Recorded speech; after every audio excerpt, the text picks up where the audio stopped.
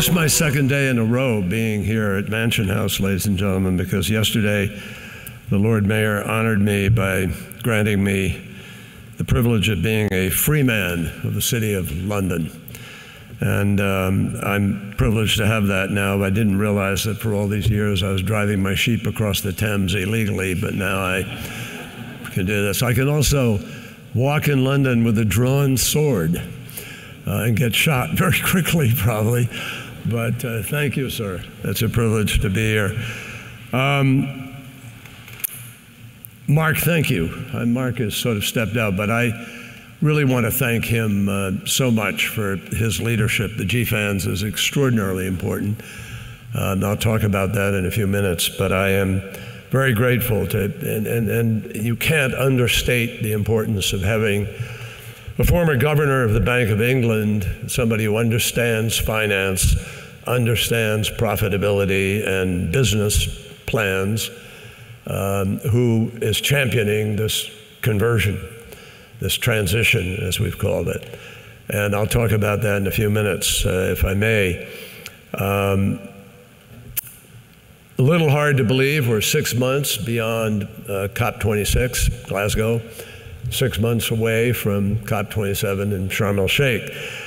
And it was about a year ago on the eve of the summit that uh, Secretary Yellen and President Biden, uh, of the Leaders Summit that President Biden held, that Secretary Yellen and I joined up with this organization uh, to help launch it.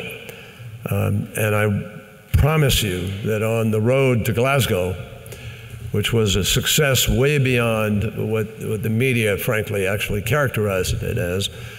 Um, and I'll say a word about that in a minute. Um, but it sent a really critical signal uh, about ambition, which is what we set out to raise as we went to Glasgow.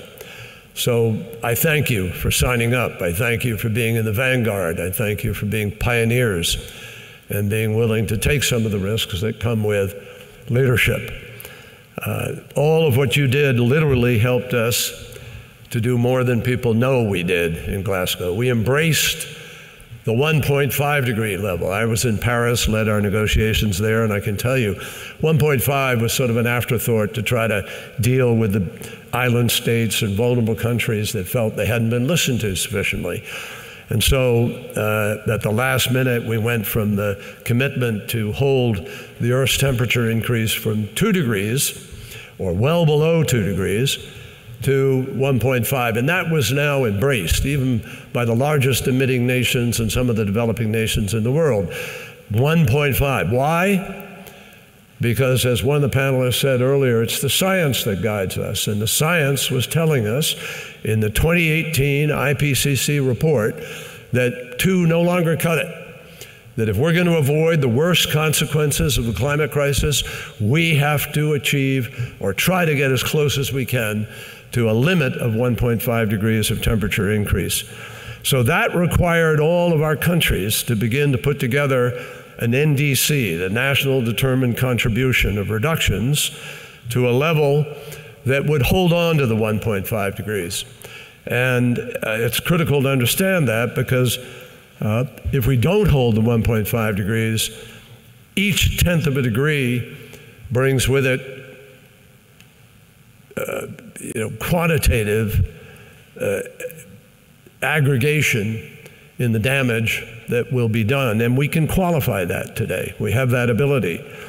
The document that we came up with in Glasgow um, committed 65% of global GDP to real plans that have been independently accredited to be real to hold the Earth's temperature at that 1.5 degrees. And that is obviously mostly the developed world. You have to think about this. I believe the best framework to think about this is this context 20 countries equal 80% of all emissions. 20 countries. And 65% of that global GDP effort is now committed to 1.5 degrees. So that means obviously 35% is not. And we have to figure out how we're going to bring those folks to the table, which is our principal action or activity that we're engaged in right now in diplomacy around the world. And it's complicated. Russia is among those uh, in that group. So, the document, I just want to say a word more about Glasgow so you understand fully, and I'm not suggesting you don't, but I want to emphasize it here today. Uh, the degree to which um, Glasgow has set a standard and been realistic about what we have to try to achieve. So, for the first time ever, the document embraced the need to transition from fossil fuel, the need to phase down fossil fuels as rapidly as possible. And even China, India, signed on saying that we should phase down. As you know, there was a fight in the last minutes about whether it was phase down or phase out. And it was settled on phase down, but you have to phase down in order to phase out. And if over the next four years that's the distance we travel, then that's the distance we travel. But we finished the Paris rulebook, critical to all of you as we measure transparency and accountability and how we're going to actually function. We put in place uh, uh, uh, a requirement that countries representing 90% of all global forests committed that they're going to end deforestation in this decade. We launched a global methane pledge, critical. Methane had been this afterthought at countless COPs. I, I, I started in COPs 1992, folks, four years after Jim Hansen first testified to us in the Congress that climate was happening. And in 1992 in Rio, we all embraced this notion, but nobody ever mentioned, not even that much in Paris, methane. Finally, methane. Methane is responsible for almost one half of the warming of the planet. And methane, as you know, released in raw methane form, is 80 times more damaging than CO2. And so we have a methane pledge which now says that by 2030 we will try to reduce the Earth's methane releases by 30%. Well, guess what? I, th- I think we can do that. I think we're going to do that. And China signed on to an agreement in the last hours of the uh, Paris of the Paris of the Glasgow meeting where they said they will release an ambitious methane plan this year, national action plan. They will join us in a work group, which we're working on now, in order, even though we have a lot of other differences, we're, we're trying to stay on track with climate. And they have agreed that uh, they will work with us to accelerate their phase down of coal and they will also adhere to the rules and enforce their law with respect to deforestation. But if we do 30% reduction in methane globally in the course of the next year, that's the equivalent of every automobile in the world, every car in the world, every airplane in the world, every truck in the world, every ship in the world going to zero emissions by 2030. That's the equivalency. So that's something you all need to focus on as you think about plans and what companies you're backing or investing in and what you're doing. Because methane uh, is now being released because of the thawing of the permafrost, and it just bubbles up in various parts of the world. You may have seen front page stories recently about a massive methane leak in Russia. That was discovered by satellite. So now you can run, but you can't hide because satellite systems are now accounting on a daily basis. They can measure your entire supply chain, your business, your footprint, your country's footprint. And that is going to create a whole new level of accountability, which will attach itself to the disclosure requirements that the SEC has begun to promulgate and that will certainly be forthcoming. So, we also created in Glasgow the First Movers Coalition a group of daring companies that came together, big companies worth $9 trillion of assets. And they put on the line the promise that they are going to undertake to create the market, to, to create demand, to accelerate the creation of that demand. And so they have companies like uh, United Airlines, Delta Airlines, Boeing came together with Salesforce and Apple, and they agreed that of all the flying that they do in their business, 5% of that is going to be with the purchase of sustainable aviation fuel at an 85% reduction in emissions level now. Now, when not everybody knows how to not everybody's in the market, but they're going to do that. Maersk, largest container shipper in the world, agreed that they are going to, in the next eight ships they build, they're going to be carbon free. Volvo said 10% of the steel that they buy in order to produce their cars is going to be green steel. It's being made now. Lafarge Holcim, largest cement dealer in the world, said they're going to produce green cement now and sell it now. And you know what? They're doing it. And people are buying the green cement now, not because it's green, but because it's better cement with the absence of carbon. So, this is what is going to happen, friends. I, am convinced of it. And I'll talk uh, a little later, just a few moments, about technology and where we're heading. But 35 companies valued at 7 trillion sent a huge demand signal, and more are coming, we hope, in Davos uh, in a few days' time to be able to announce additional companies that are joining up with that. And we ask you, in whatever way you can, drive your companies in that direction. The ones you're working with or investing in or that you lend money to. So the truth is, though, that. Uh, uh, Fatih Birol of the IEA, who has been a great referee in this process and transformed the IEA, in my judgment, into a highly relevant and important entity at this point in time, not just a mouthpiece for the industry that it was originally set up to help speak for. And now the IEA says to us if we implemented every single thing that we said we were going to do in Glasgow, we would be by 2050 at 1.8 degrees of increase. That's what we can achieve. That's without the 35% having joined us. Think about that. The message that sent to me is this is not dealing with the realm of impossibility. We can win this battle, but we have to do more. And that's the new reality that we have to face up to.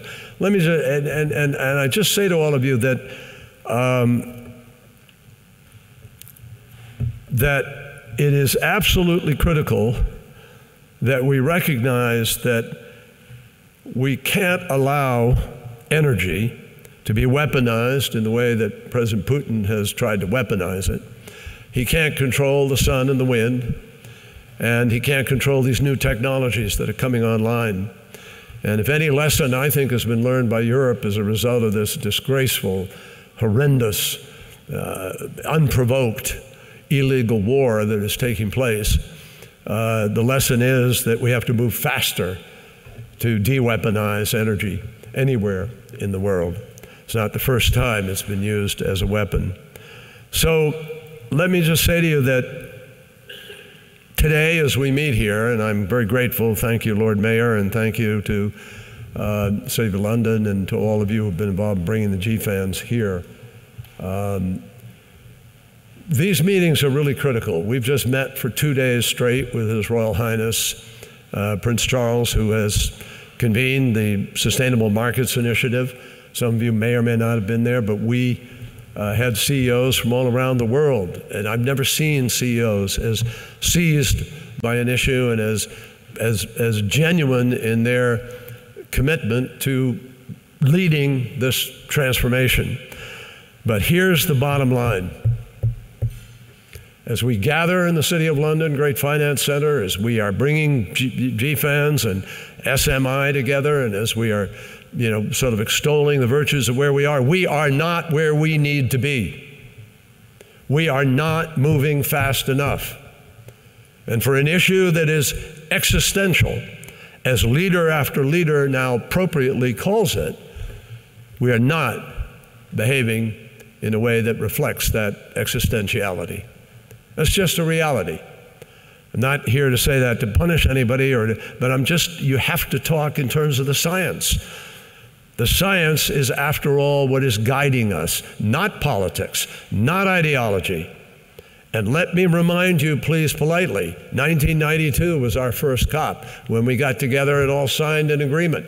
President George Herbert Walker Bush was there.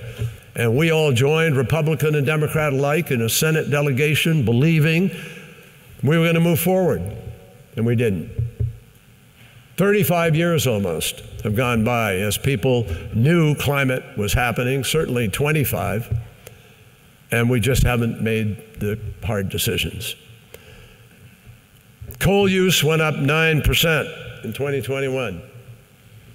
Emissions went up 6%, as did fossil fuel subsidies. $440 billion of fossil fuel subsidies. Explain that to me in context of status quo and unwillingness to move. You know the old saying when you're digging a hole and you know you got to get out of it, the first thing you have to do is stop digging.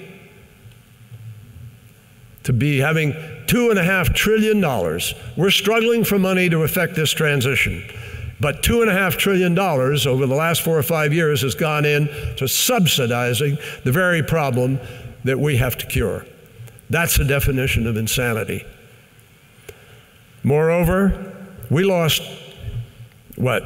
In two years to COVID, we've lost about 15 million people globally. That's a pretty unfathomable tragedy. But let me just share with you every single year we lose 10 million people to greenhouse gas pollution. Pollution. Greenhouse gases are pollution.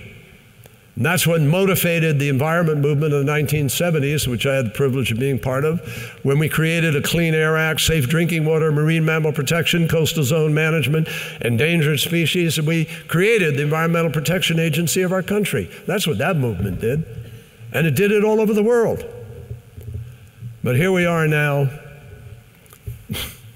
you know, talking, but not yet acting sufficiently.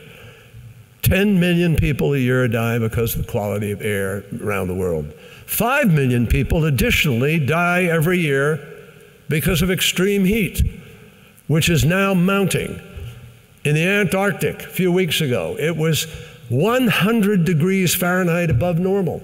In the Arctic, it was 70 degrees Fahrenheit above normal.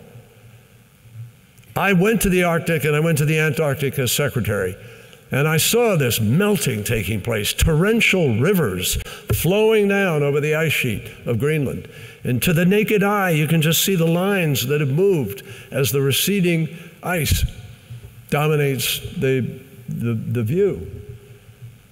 Now, I looked down a hole and saw 100 feet down there a monumental river torrentially going out into the ocean and went to a fjord where 86 million metric tons of ice is breaking off every single day, enough water to supply greater Connecticut, New York, and, and, and New Jersey for an entire year, every day. So that's where we are. And I ask you simply to think in practical terms about the supply chains and the businesses that are out there that are so critical to the profit that you make and to the ability to be able to drive our economies, which obviously is essential. That's why President Biden is releasing some of the oil. Not because he wants to be dependent on it for the next 20 years or 10 years, but because we want to stabilize the economy and try to bring prices down, deal with inflation, begin to move in a better direction so you can make these decisions that we need to make with greater confidence. Now imagine what happens, however, to your businesses if we don't do these things? What happens to the markets? What happens to supply chains when there's an implosion in the capacity of Africa to produce its food, which is one of the threats we do face now? Every single degree of warming matters. At 1.5 degrees, stable crops like corn and rice and wheat are imperiled and supply chains will be unstable. At two degrees, corn, rice, wheat collapse, tens of millions of people could starve. We already have a problem with just Ukraine's interruption in the potential of starvation in, in Africa and elsewhere. And the ports and the roads and the rails will be regularly flooded and wash away, and you have to rebuild them. Imagine trying to conduct business in that world, folks. And it's a requirement that we do think about these things. Not because John Kerry is saying it to you today or because President Biden says it uh, or Tony Blinken, but because this is the new reality if you listen to science. You can't be half pregnant on the issue of climate. If you accept the science that this blanket is warming the earth and we're making it worse every single day, that's been science that we've been hearing about for 30 years, as I said. Actually, you go back to 1898, and a guy named Arrhenius, a Swedish scientist, who first postulated it. And there are people here and there who talked about it in between, but it really didn't gain currency until we went to Rio. But, but you know, those are the threats. But here's the good news, and there is good news. I'm an optimist about this. I honestly am. And I'll tell you why in a few minutes. But the IPCC, those scientists who have been guiding us, have told us in the last report, just a few, what, month or two months ago, that we still have time to avoid the worst consequences of the climate crisis. Now, let me emphasize that's just to avoid the worst consequences, not to avoid the crisis. And that's another thing you have to put in your, your, your, thoughts. In 2018, they told us we have to cut those emissions by 45% by 2030. So I ask you also to think about this. Yes, you have to do the work that was described here in the panel about planning for 2050 and coming up with a roadmap. And as, as Noel Quinn said, we need to see the roadmap. But the roadmap has to be based on reality. And the reality is that we can't get to net zero by 2050 if you don't do enough between 2020 and 2030. That has to be a major guidepost as you go along here, folks. 20, 20, 20, 30 is the first question you should be asking somebody who says we have a 2050 plan. And the fact is that, uh, that you, if you don't get the 45%, you don't keep 1.5 degrees. They're all connected. This is not a matter, as I said, of ideology. This is a matter of mathematics and physics. A lot more certainty in that than you have in many of the decisions you make about where to allocate funds. So the truth is that today, and I regret to say this, that that that that you know, as as important, and, and it is important. Don't don't don't for an instant please take me as ungrateful or unexcited about what is happening. It is. There's a lot happening, as the panel said. There's a lot happening, folks. But there are still too many big companies, too many folks in places of big responsibility and big control of employment, of allocation of capital, of big decisions who are not yet buying in. They're sitting on the sidelines. They're kind of waiting to see. They're also loving the revenue that's coming into them from the status quo. And that is a very powerful source of, of amelioration of big decisions and allowing people to sort of stall a little bit, if you will, just to rely on things as they are. Our enemy in this battle is the status quo. Our enemy in this battle are vested interests that don't want to move fast enough to change. And you can look at a couple of major fossil fuel companies that have completely embraced this change. They're moving. They're not going to be fossil fuel companies, they're going to be energy companies. And they understand that that's the future. And they're going to produce clean energy. In the United States of America, President Biden has made a commitment that the entire power sector of our nation, one of the largest producers of power in the world, is going to be carbon free by 2035.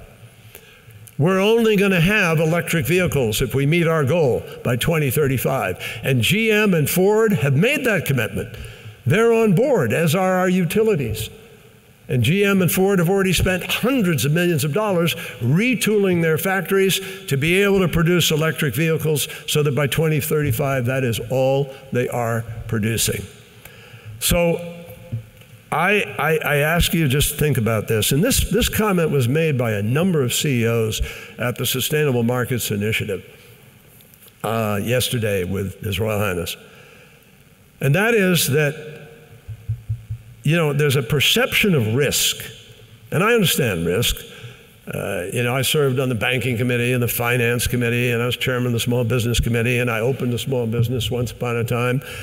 Uh, and I learned very quickly that if I'm ever going to do that again, I'm going to move the decimal point very far to one side uh, for time and effort. But I have to tell you that um, that that risk is you have to measure it, but you can't be paralyzed by it. And look at the risk that venture capitalists take in a lot of places and blow it at times, even really good ones.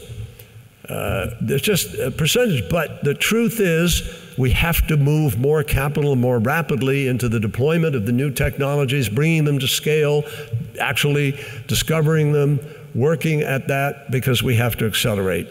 So we have a choice. We can stay stuck in the status quo or we can transition. We can break the mold. We can secure a cleaner, safer, healthier planet. And, and everyone talking about risk needs to realize, and I believe this, you, you may not believe me, but thought about it long and hard.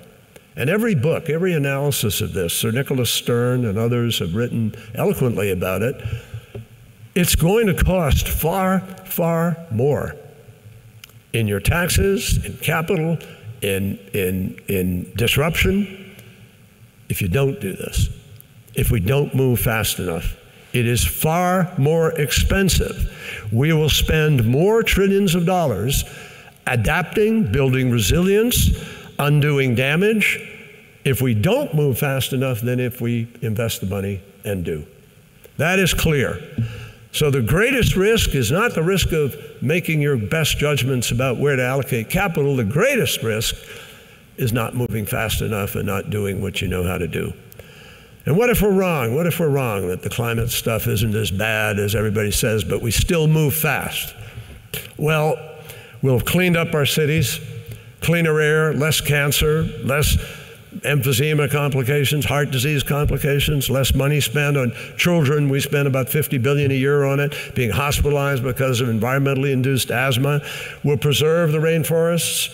Uh, we'll make the air breathable. We'll make water drinkable. We'll have cities where you can actually move around them more effectively. Just think, we'll have done all that, all for nothing. Uh, that's the downside of making the decision to do what we know we need to do. So, establish, I hope, beyond doubt, that moving more rapidly to this new energy economy is the best way to approach this. So, how do we accelerate that transition? And let me speak to some of your very real concerns. Last year was about raising ambition, and we got to 65%. This year, we're trying to implement on everything that was promised so that the prediction of the IEA can be met and we're trying to raise the ambition. We call it implementation plus. Bring those other countries to the table and help them to be able to do what they need to do in this, not leave them with the ability to say, oh, common but differentiated responsibility. We don't have to do this. Give us more carbon space. You guys cut further, which is physically impossible for us at this point. So this year we have to implement those promises. And what it means is we have to decarbonize uh, the power sector five times faster than we are right now. We have to deploy renewables five times faster than we are right now. Uh, we have to uh, transition to electric vehicles about 20 times faster than we are now. And we have to fully transition to a resilient net zero economy faster.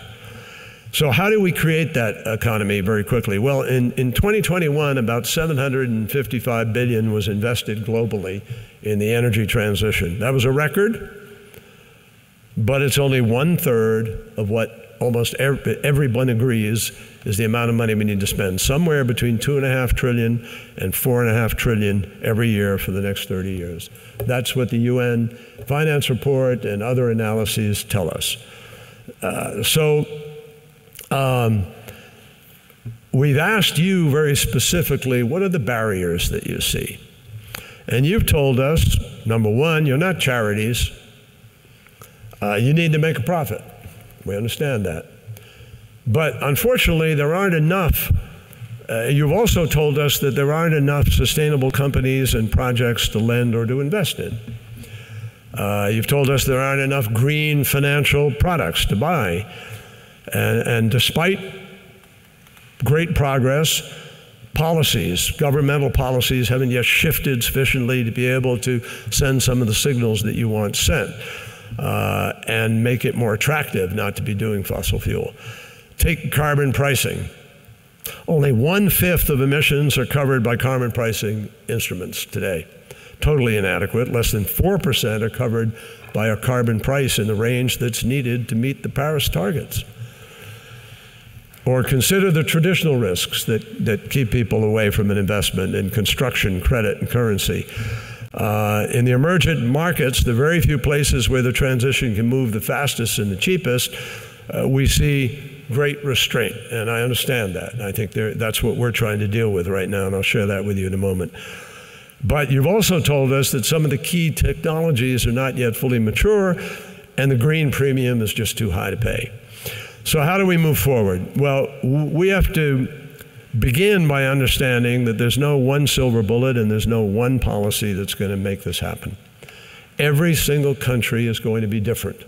That's what we're finding. Uh, there are four big approaches that we think matter here. One is we're focused, and these are what we're focused on. First, we need more risk taking capital, more first loss facilities, more guarantees, if you will, guarantees from government or other kinds, and better ways to manage currency risk. Uh, with the G7, we committed last year to provide 2 billion to the Clean Technology Fund.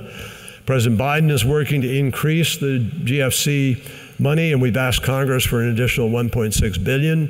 He's made a commitment to put 12 billion a year into adaptation and resilience uh, in an emergency, and our, we're trying to supercharge our, our DFI, the, the Development Finance Corporation, which has a finance uh, a, a gap here, capacity of about 30 billion.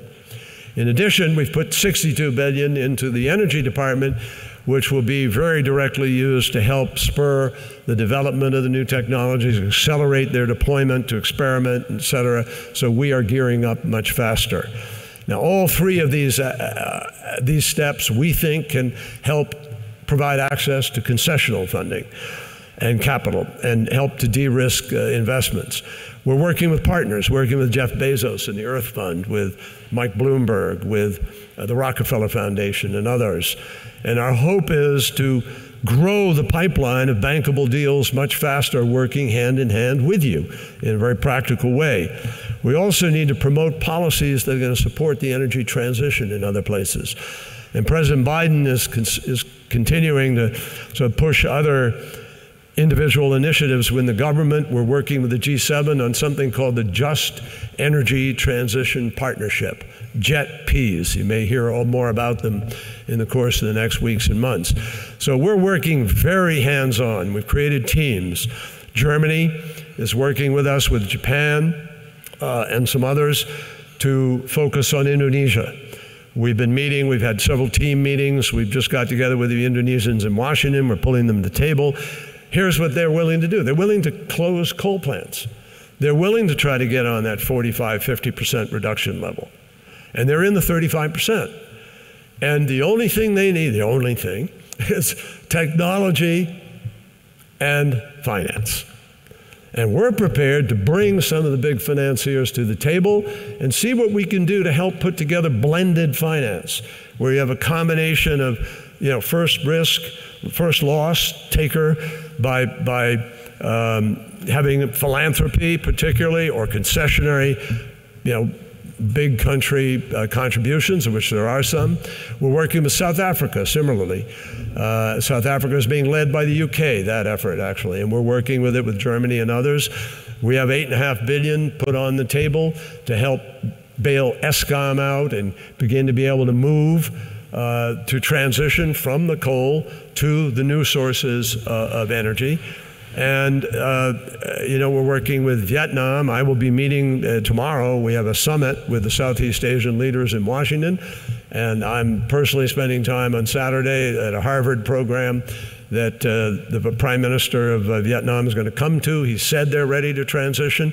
We really want to get specific and open up renewables. It's a country that is blessed with some gas for transition, has incredible wind, incredible sun, and, uh, uh, and minimal deployment of renewable, and largely partly because they don't have the transmission lines. So we're going to help try to put them in. And we'll do everything we can to accelerate. We need you to help take these kinds of things. I don't think it's that risky. particularly if you get them to come up with a 25, 30 year PPA with a tariff that reflects you know, the return on investment that you need here. So we need aggressive deal makers out in the marketplace, frankly. I don't see people knocking on those doors enough saying, hey, we're prepared to finance this if you'll do the following things, including conceivably some policy changes like being more uh, transparent and more accountable, and you understand how you'll resolve a dispute because you have arbitration that can be done in the right place, and all those kinds of ingredients of a deal that are critical. So we're helping to create customized, specific plans that will accelerate the deployment of renewables.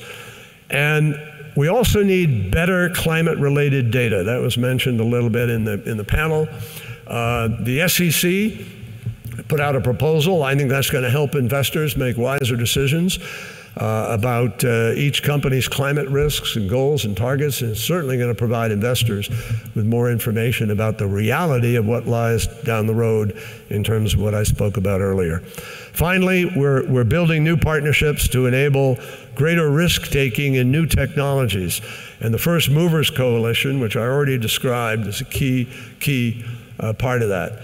Um, so let me very respectfully implore you and, and encourage you to act in, in different ways now, new ways perhaps. The, the, the, the, the Development Finance Corporation, at least ours, can't move if there are no applications. The First Movers Coalition and JETPs can only succeed if banks and investors are going to take a closer look at new markets and technologies. And the Green, Green Climate Fund can't succeed unless firms partner to develop financial mechanisms that will work. Uh, so please help take your plans. We found this in the SMI yesterday that people are doing things, but a lot of people don't know what they're doing. Bank of America, for instance, 5,000 loan officers are now being trained to reach out. Every company they're considering lending to has to come up with a plan. They're only going to lend to people who are embracing the proper kinds of steps that we need to take as we go forward. So elevate your plans, don't hide them. And, and be honest about the tough choices, how much risk you know, you're willing to take and exit and come out. So let me, let me just close to all of you and say this. Um, I've been at this a long time, and I remain absolutely confident the world is going to get to a low carbon, no carbon future. We're going to. It's happening. It's going to happen. No politician can turn around what's happening in the marketplace now. There's almost a trillion dollars of venture capital that's out there chasing some of these new technologies. And to really learn whether I had a right to be optimistic or not, I went to California recently and I met uh, uh, in uh, Palo Alto at Stanford. I went to look at what they're doing. I looked at what Google X is doing. I checked in with our laboratory, with the accelerator that is working on fusion. Uh, and I met with about 15 startups. And man, I'll tell you, I was as excited by anything I've seen uh, by those startups. Uh, I saw a battery that may well, uh, the technology is pretty much there. They're trying to figure out, bring it to scale, et cetera. 100 hours. 100 hours from battery. We have four hours today. So people are talking about how you balance your base load and how you provide security and energy. That's a game changer. Or electrolyzers, they're going to be able to produce commercial scale and move faster on green hydrogen. Direct air carbon capture. At Google X, I saw this carbon capture that's turning the carbon into a product, potentially a product. And there are all kinds of, in Australia recently, they did turn carbon into a product.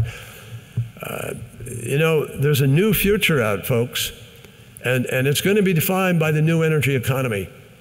And I'm telling you, the spoils are going to go to the people who are there early and get in on those investments and make those things happen. And they're going to happen. The only issue I have, the challenge I have in my confidence and optimism, is I am not yet convinced that we, all of us, are acting fast enough and doing what we need to avoid the worst consequences. When I called Johan Rockström, one of the prime scientists that we listen to and who's been involved in this for years, he heads up the Potsdam Institute in Berlin. I said, What scares you the most right now, as scientist, in terms of the evidence? he said to me, John, let me tell you, I worry that we may have passed three tipping points. I said, Whoa, what are they? He said, The Arctic, the Antarctic, which I talked about, and coral reefs. Now, I can't sit here, I can't stand here and tell you, I know that's happened. He can't. But he says it's irreversible. Irreversible. What's happening there is irreversible in the near term. That's why I'm talking about worse consequences versus the crisis. So, we all knew that delivering on a net zero is going to be hard, but I ask you just to remember uh, I was very moved and impressed as a young person when President Kennedy challenged all of us at Rice University and, and said, We're going to put a human being on the moon by the end of the decade. He set a target. You've set a target. But he made sure that we did what we needed to do to reach that target. That's what we need to do now. You are the agents of this. You have the power, and you can get more people invested in this transition. And if we do that, I got to tell you, that was 50 years after the first flight at Kitty Hawk, and we got to the moon. With what's happening now with AI and, and the pace of change and technology, we can do this. But we need you to help provide the capital. We cannot do it if we don't raise the capital necessary to effect this transition. So, folks, President Kennedy said we do these things, we choose to do these things because they are hard. And what he meant by that is hard choice, hard, tough to do. But in the doing of it, you achieve great things. And I'm confident that GFANZ is one of those entities in the world today that has an ability to help us achieve the most important thing we can do, which is literally protect life and species on this planet. Thank you all very, very much.